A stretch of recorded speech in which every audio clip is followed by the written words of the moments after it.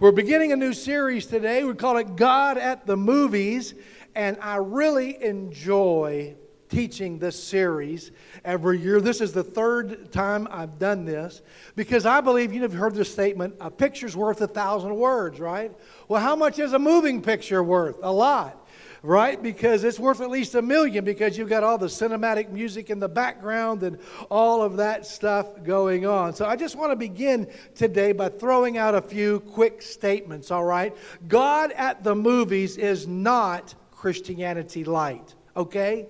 We're going to deal with heavy themes this, this year. In fact, three of the four movies are actually real stories that occurred in the, in the lives of, of people. And uh, we're going to look today at how to be a light in a dark world. That is not Christianity light. The second thing I want to let you know is that the Apostle Paul in the New Testament, he quoted from the theater. You'll have to look that up and find out where that is. It's in the book of Acts. Uh, and uh, the third thing is Jesus told lots of of stories as illustrations. All right, so if you read the New Testament, you know that. Uh, the fourth thing is listen, this series is easy to invite people to come to. All right, it's easy. Say, my pastor's preaching God at the movies. It's interesting. You can invite people. And the fifth thing is that it's kind of fun to have a little popcorn and water as in church, all right? And so we're just going to jump right into the word today how to be a light in a dark world. Now, here's the thing we know that when Jesus came to planet Earth, it was a dark time, right? It was such a dark time that there had actually not been any revelation from God for 400 years. And the religious leaders who should have recognized the light coming into the world, they were so blinded, so hardened that they completely failed. They rejected him. He came to his own, and his own did not receive him. John chapter 1, verse 4 and 5. Let's read it today. It says this In him, in Jesus, was life, and the life was the light of men, and the light shines in the darkness, and the darkness did not comprehend it.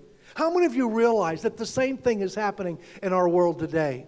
I believe that, that, that, that the light of Jesus Christ is still shining out into the darkness. But sometimes the light does not, is not comprehended by those who see it. And how many of you also realize that you and I are the light of the world right? How many say, I want to be a light to this world? I want to let my light shine. All right, we could insert the little kid song, This Little Light of Mine, I'm going to let it shine, right? The word says this, Matthew 5 14. You are the light of the world. I am the light of the world. We reflect Christ to the world. All right. And so we've got to let our light shine. The movie that we're going to use today as an illustration comes from a dark time in American history. If you're easily offended by uh, certain things, maybe this isn't a movie for you, but it is a great movie. I've done the very best I can to bleep out a few words, but uh, I watched the movie. I enjoyed the movie. But uh, this is what the movie comes from a very dark time in American history. It's set back in 1962. Some of you are thinking, man, that's a long time ago. I was only three. Okay.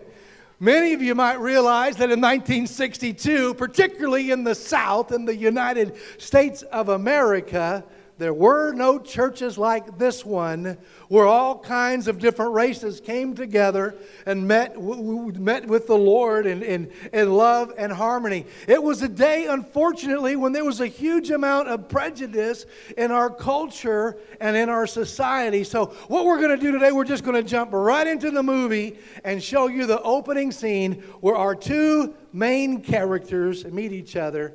And then we're going to give you a little synopsis of the movie enjoy today.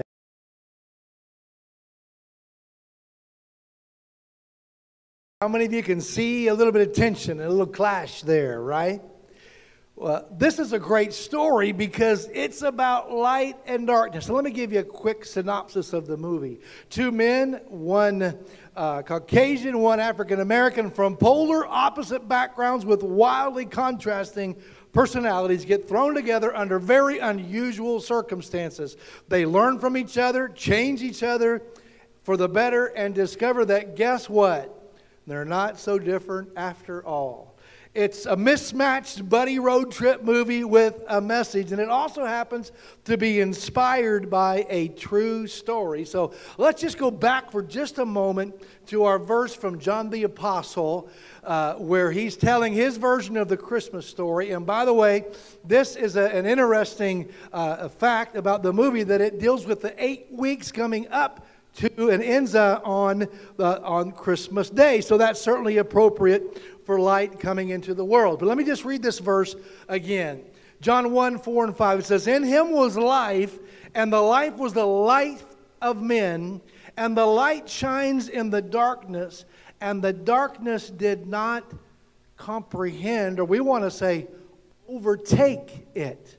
Uh, that word comprehend, that's a good translation, you know. But how many of you realize that there's a lot of meanings and subtle differences in translations and meanings of words? And another way to look at this word that is translated here, comprehend, another meaning for that very word in the Greek is the word overtake. And so the darkness did not overtake the light. So, how, how, many of you know that when the light of Jesus came into the world, it was impossible for darkness to overtake it? Come on. It's impossible for that to happen.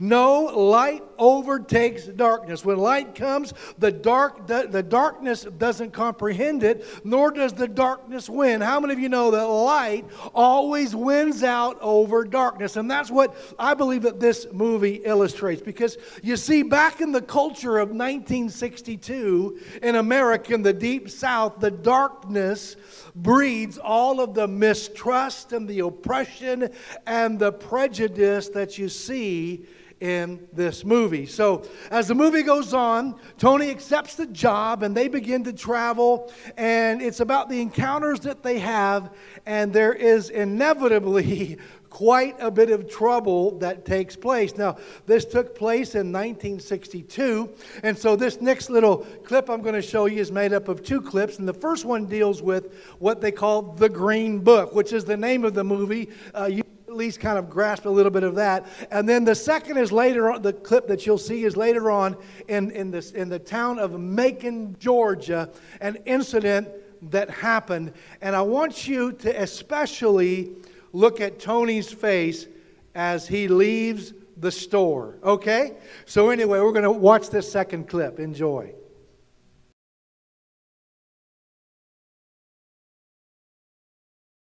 Can't play the piano, can he? Uh, by the look on Tony's face as he was leaving the tailor shop, that look actually is very priceless. It, it, it speaks of volumes. And uh, the truth is that Tony was remembering in that moment because if you had seen the opening scenes of the, uh, of the movie, you know, uh, his feelings toward African Americans were completely different at that point.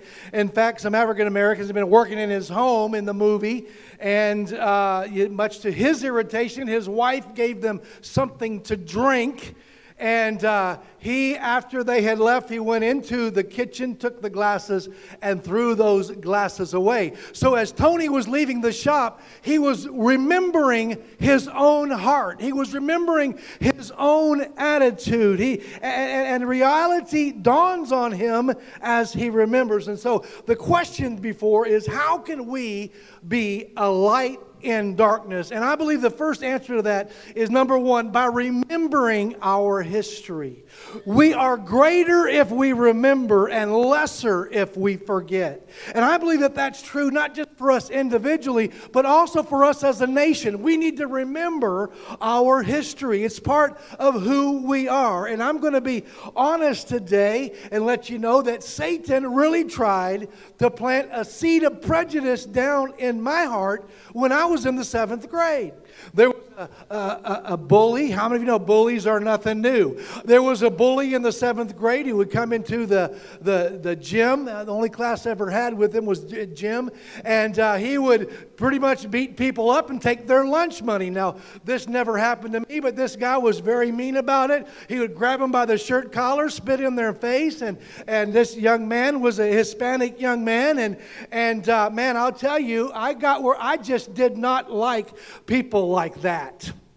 Satan planted a seed of hatred down inside of my heart. I was in the seventh grade. I was about 12 years old, all right? Well, in the 10th grade, we moved from Hurst, Texas, to Worthington, Minnesota. And by the time I got to the 12th grade, something interesting happened to me, and that was that there was only one Hispanic guy in my whole class. His name was Lionel Lomas. And wouldn't you know it, that God in His providence would have to get us assigned to the very same assignment. And guess what? I found out that Lionel Lomas was a cool guy. We became really good friends, and all that prejudice just got out, torn out of my heart. But I honestly believe that I'm more if I remember that that. I'm more if I remember that. And that's why I believe that community is important.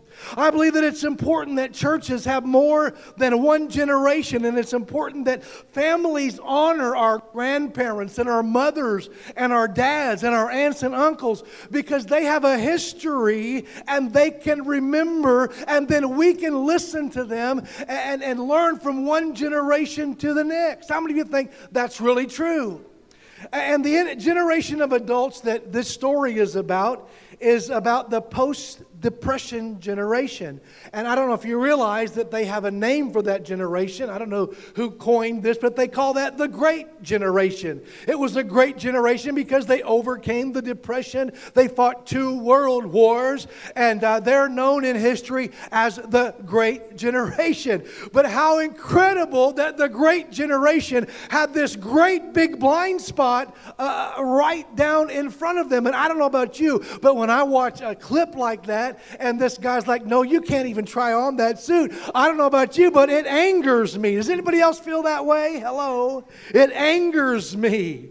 Uh, and, so, and so it's important that, that, that we apply this to our lives because you see, it's easy once you've been saved for a while. Who's been saved over 20 years? Raise your hand. Come on, you've known. Who's been saved over 40? You don't have to raise your hand, but I can raise my hand, all right. You've been saved a long, long time. You know, it's, it's easy to forget what your life was like when you weren't saved. Thank you so very much. You know, we, we, we become, so the next time, listen, the next time you become aware that there's darkness all around you, how many have ever felt that? There's dark. You could be you could be in Walmart and just think all of a sudden you see a, something going on where there's darkness around you. You know, yesterday I was coming to the church and, and uh, there was a couple out here in the parking lot, not in our parking lot, but across the street, and they were having a big fight and they were cursing at each other, calling each other names. And, and I just, re- all of a sudden, I'm just thinking, man, th- th- there's, there, there, there's evil everywhere, there's darkness everywhere, and something's bad is going on there. Uh, but we cannot forget that, yes, we're the light, but we also have to remember that we once walked in darkness because how many of you realize that you would act a little little difference toward the one who cusses every other word when you remember that 25, 30 years ago, that's the way you used to talk. Come on, somebody. Do I have an amen? Amen. You, you, your light may shine a little different if you come upon someone at your job and you realize that they may be involved in, in something where they're sinning sexually. And you, you, might, you might think, well, I, I need to, you know, act a certain way towards them. But listen, you got to remember, my friend, that some of us have also sinned sexually. Hello? That tempers our heart. That makes us love people more. How many of you say, I want to love the person in front of me as much as I can? Come on, somebody give the Lord a big hand of praise. Amen. Amen. We've got to be that light. And so you say, what do I got to do to really be uh, the light to the world? First of all, if you're going to be the light, you, how do you live? You've got to walk in the light. Come on.